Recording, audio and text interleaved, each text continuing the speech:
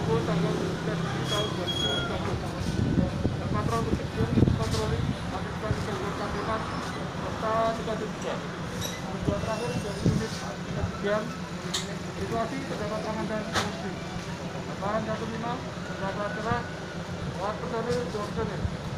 Setelah itu yang bisa dilakukan dan dapat 3 selama siang.